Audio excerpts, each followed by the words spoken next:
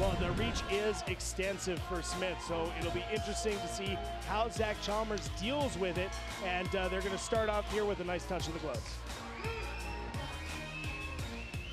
Chalmers and Smith squaring off in the center of the cage. Again, a bull rush there from Chalmers as he tries to get in. Smith answers with a couple of right hands down low and now trying for a guillotine of his own, looking for the takedown. Now Chalmers going for it.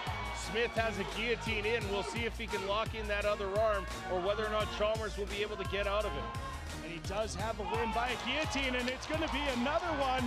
And got to be a frustrated Zach Chalmers, and Mr. Boom Truck gets his very first professional win, ending Zach Chalmers by a guillotine, and got to be a happy Devon Smith.